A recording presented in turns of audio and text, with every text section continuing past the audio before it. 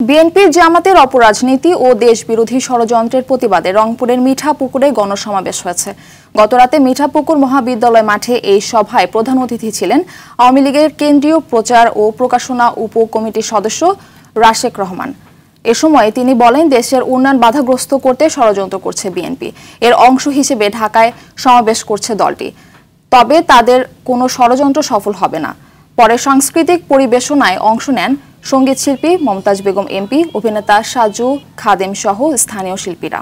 দশ ডিসেম্বর নাকি জননেত্রী শেখ হাসিনার সরকার থাকবে না। তারা বলেছিল, দশ ডিসেম্বরে এই দেশ নাকি বেগম খালেদা জিয়ার কথায় চলবে।